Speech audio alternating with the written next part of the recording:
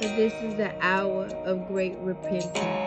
The reason the repentance is so great because the repentance must come from the church.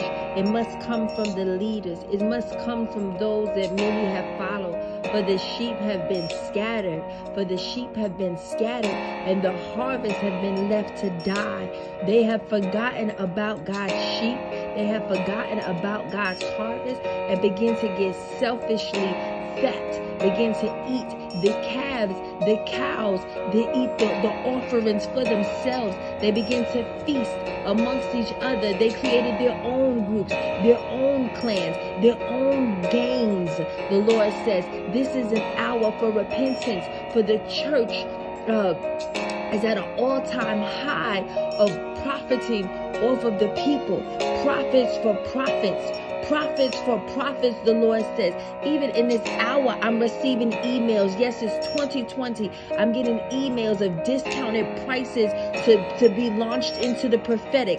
The devil is a liar. Satan, the Lord, rebuke you. Come from out amongst them. All the wolves in sheep clothing will be revealed in this hour. The changing of the guards has already taken place.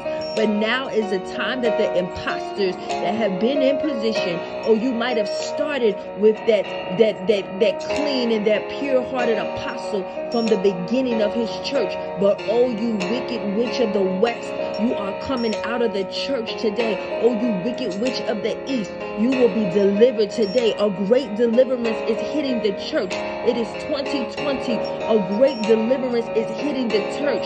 As of April the 23rd, I say that the spirit of witchcraft in the church will be finished.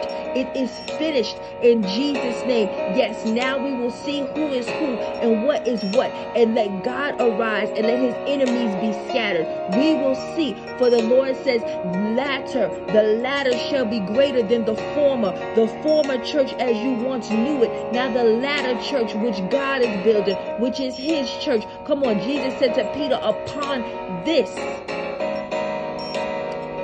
rock will I build my church upon the one with the revelation, upon the one whom it has been revealed to. Not the people who study so hard in seminary, cemetery, whatever. Okay, I'm holy hood. Okay, not the people who studied so hard to learn of a God that they did not experience, but those who have experienced God. Yes, those who have experienced God, those who have that Abraham walked with him and talked with him, the faith walk, the testimony. Revelation 12 and 11, for they overcame by the blood of the Lamb and the word of their testimonies. Those that have the testimonies that have not forgotten them. Hold on. Because you got a lot with testimonies, but they have forgotten. They have traded their testimonies. They have traded their God to be rich, to fit in with the incloud, the religious rulers, the Pharisees, those who wear the fancy garments. They're giving you scripture for that, telling you the Lord wants you wealthy. Yes, but what is the Lord's wealth? You want to have wisdom, you want to have strategies. Okay, yes. But whose strategies, whose wisdom? Jeremiah 29, 11, for I know the plans I have for you, thus says the Lord. Plans to prosper you, not plans to harm you, plans to give you hope in the future. Your strategy is not in the hand of a man. Your strategy is not in the hand of a man. Seek ye first the kingdom of God and his righteousness, and all these things shall be added unto you. Return unto God. Jesus was church hurt. The Lord is church hurt. You mocked and teased people who were church hurt. Our Father is church hurt. You don't believe me? Go ahead and read Revelations. Revelation. As that's how you would like it. You want to be prim and proper. You're proper with your speech, but you're not proper with your heart. Posture your heart. Be pure in heart. Repent. Repent for selling what God gave to you. You can't sell what belongs to the Lord. Repent.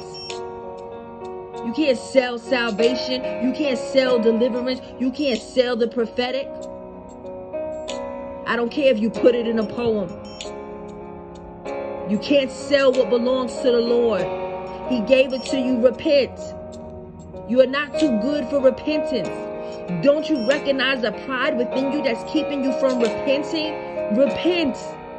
Yes, if my people who are called by my name will humble themselves and pray. I'm looking for a unified people, says the Lord. I'm looking for a unified people. But you won't get unified because you're so filled with pride. Nobody will repent. You don't even know what to repent for. And when a prophet comes and tells you what to repent for, you try to rebuke her. You can't rebuke heaven when I use my mouthpiece. Put down your offering cup. Offer me up your pure heart.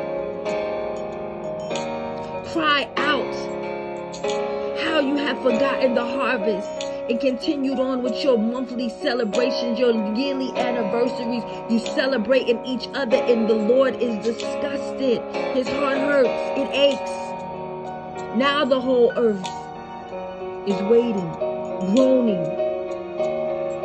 Not only do we need a word from God, but we need a word from God made manifest. That word is Jesus. He walked this earth. He left us with a gift of Holy Spirit that said greater works we would do. Yeah, you know it, but are you doing the greater works? Or are you building your ministry greater? Your ministry is canceled in the name of Jesus. I said it, your ministry is canceled. For God ministry is arising now. The Great Commission, back to the demonstration, heal the sick, raise the dead, cleanse the lepers. Go out amongst them no gloves and masks. Jesus ain't have that. The power of God. You be safe, I'ma be saved. You be safe, I'ma be saved. Watch and see the salvation of the Lord. Repent.